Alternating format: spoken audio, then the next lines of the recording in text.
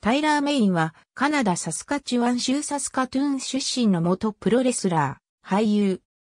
身長は6インチ9フィートとかなり長身である。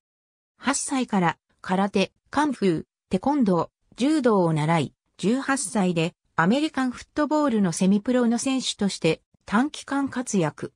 その後1986年にプロレスラーに転向。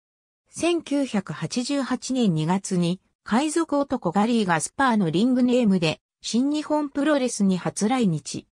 1990年11月にはザ・ランド・オブ・ジャイアンツの片割れスカイウォーカー、ナイトロンのリングネームで全日本プロレスの世界最強タッグ決定リーグ戦に参戦。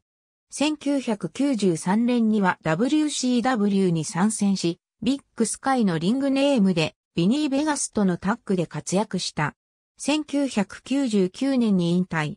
1992年にプロレスラー役で出演した舞台で俳優デビュー。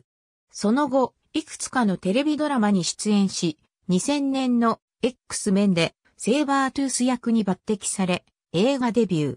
その後はアクション映画やホラー映画で活躍。その他の代表作にリメイク版ハロウィンと続編のハロウィン2のマイケル・マイヤーズ役がある。私生活では88年に結婚、二人の子供を設けるが2003年に離婚。2007年に女優のレナエ・ギリングスと再婚。現在はロサンゼルス在住。俳優活動に加え、慈善活動を行っている。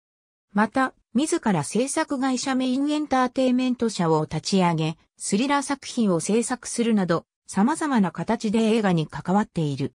この記事は、以下のカテゴリでも参照できます。ガリー・ガスパーに関するカテゴリ、スカイウォーカー、ナイトロンに関するカテゴリ、ビッグスカイに関するカテゴリ。ありがとうございます。